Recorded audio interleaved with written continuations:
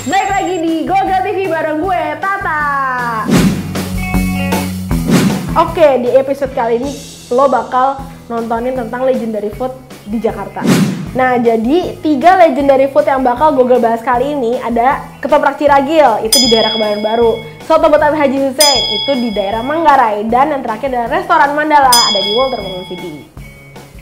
Oke, gue bakal start dari ketoprak Ciragil. Nah, ketoprak Ciragil itu udah legend banget dari zaman dulu. Terus emang sih daerahnya agak jauh daerah Kebayoran Baru kalau lo misalkan tinggalnya di daerah utara atau barat. But itu lo nggak sia-sia banget datang ke daerah sana. Enak banget. Di sini kita bisa custom mau telur dadar atau telur ceplok. Jadi beda banget tuh dari ketoprak-ketoprak biasanya.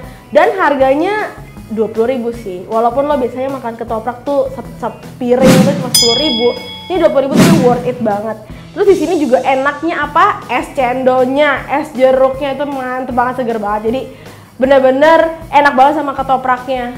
You must try it. Oke sebelum gue masuk yang kedua nih lo pasti pada bingung kenapa gue megangin tumbler botol ini. Ini sebenarnya mix sih. Jadi please ya kalau gue nggak jelas. Ah oke okay, kita lanjut yang kedua. Oke okay, yang kedua gue mau ngomongin tentang restoran Mandala. Jadi restoran itu lumayan deket jaraknya dari si ketoprak Ciragil masih daerah Kebayoran Baru juga tapi ini ada di Watermelon City jadi makanan yang gue pesen waktu itu adalah mie ayam jamur. Mie ayam jamurnya tuh legend banget dan enak banget. Harganya cuma 39.600 mungkin buat kalian mikirin 39.600 tuh agak overpriced terlalu pricey tapi tuh worth banget karena rasanya enak banget ladanya gurihnya itu masuk ke mie enak banget. Karena mereka juga mie bikin sendiri terus ada ikan lindung cak fumah oke okay, itu enak banget.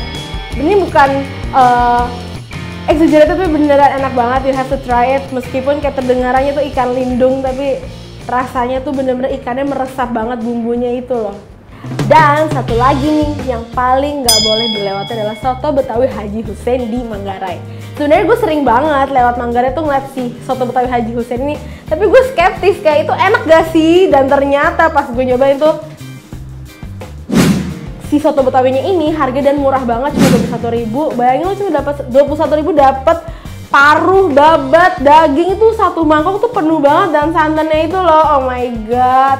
Mungkin lo mikir itu lemak semua tapi itu enak. Oke lo harus coba. Santannya gurih banget, dagingnya babatnya semua 21 ribu lo nggak rugi.